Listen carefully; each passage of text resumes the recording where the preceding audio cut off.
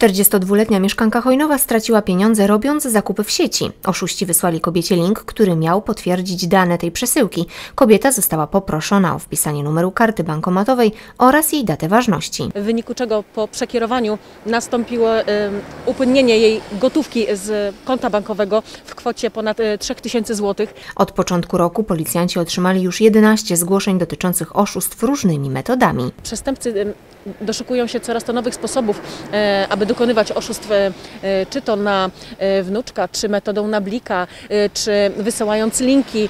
Takie podlinkowane strony narażają nas od razu na praktycznie utratę pieniędzy i przekierowanie takiej gotówki. Policja apeluje, aby pod żadnym pozorem nie logować się na otrzymywane linki do stron internetowych i nie przekazywać numerów kart czy haseł dostępu.